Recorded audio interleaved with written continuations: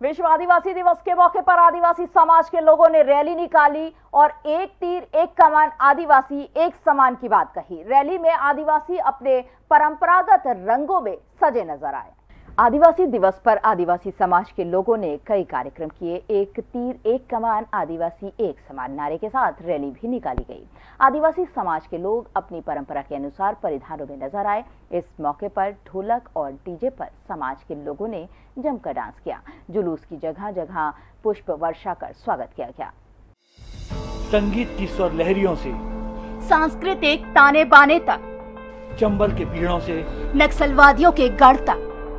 झोपड़ी से महलों तक ठेलों से मेलों तक पगडंडियों से सड़कों तक गाँव से शहरों तक व्यापार से उद्योगों तक।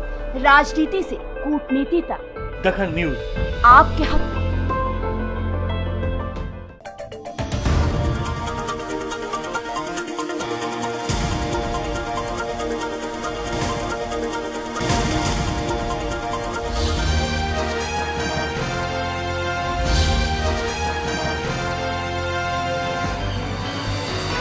आप देख रहे हैं दखल न्यूज़।